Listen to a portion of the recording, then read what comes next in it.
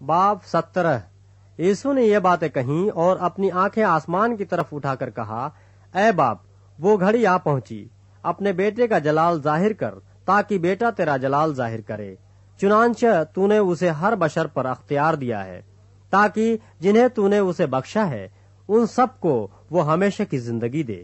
اور ہمیشہ کی زندگی یہ ہے کہ وہ تجھ خدا واحد اور برحق کو اور یسو مسیح کو جسے تو نے بھیجا ہے جانے۔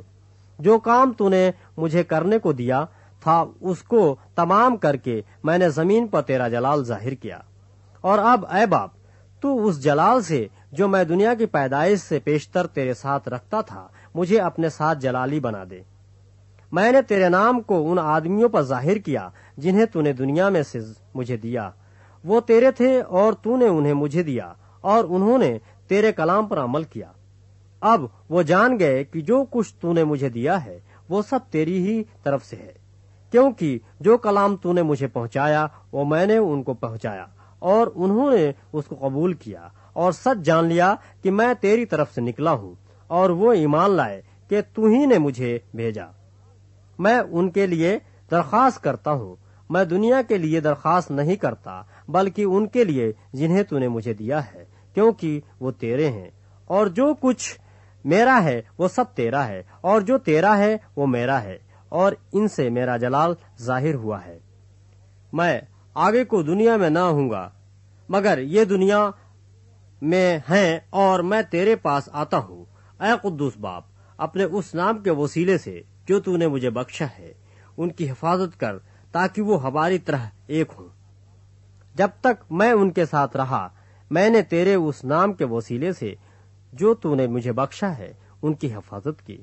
میں نے ان کی نگہبانی کی اور ہلاکت کے فرزند کے سوا ان میں سے کوئی ہلاک نہ ہوا، تاکہ کتاب مقدس کا لکھا ہوا پورا ہو۔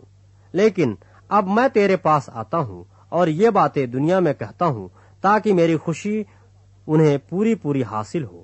میں نے تیرا کلام انہیں پہنچا دیا اور دنیا نے ان سے عداوت رکھی، اس لیے کہ جس طرح میں دنیا کا نہیں، وہ بھی دنیا کے نہیں۔ میں یہ درخواست نہیں کرتا کہ تو انہیں دنیا سے اٹھا لے، بلکہ یہ کہ اس شریر سے ان کی حفاظت کر۔ جس طرح میں دنیا کا نہیں، وہ بھی دنیا کے نہیں۔ انہیں سچائی کے وسیلے سے مقدس کر۔ تیرا کلام سچائی ہے۔